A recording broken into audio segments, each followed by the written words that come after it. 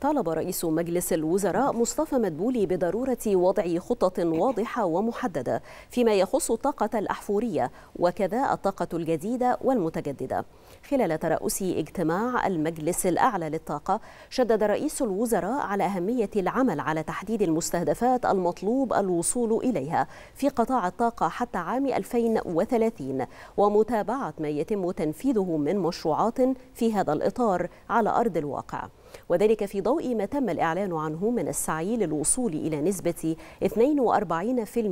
من إجمالي الطاقة الكهربائية المنتجة من مصادر الطاقة الجديدة والمتجددة وذلك بحلول عام 2030 وقد تناول رئيس الوزراء خلال الاجتماع جهود الدولة في التعامل مع أزمة الكهرباء التي يعاني منها معظم دول العالم حاليا ومن بينها مصر لافتا إلى ما يتم اتخاذه من إجراءات وخطوات متكاملة